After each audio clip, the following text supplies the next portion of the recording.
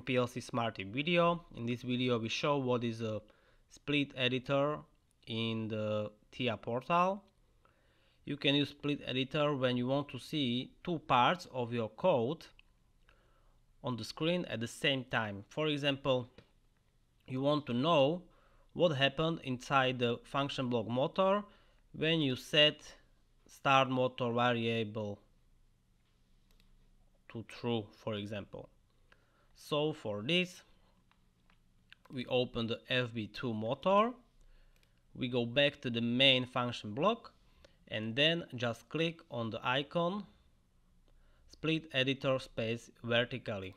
And how you can see we divide the screen to the two parts. On the left part is a FB1 main function block where is situated function block number 2 and on the right side is the details of the program inside the function block number 2 and then you can for example when you are online in your project in your program and you set the input variable start to true then you can see what happened inside the function block.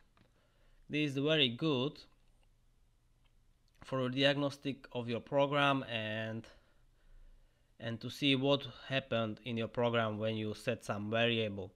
Also for example you if you want to see what happened inside your data block of the FB number 2 you just click on the data block drag and drop sorry click on it and now you can see on the left side is the code and on the right side is the variables of the data block.